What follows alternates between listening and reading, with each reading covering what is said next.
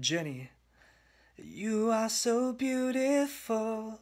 You stole my breath away. God made you as a precious child.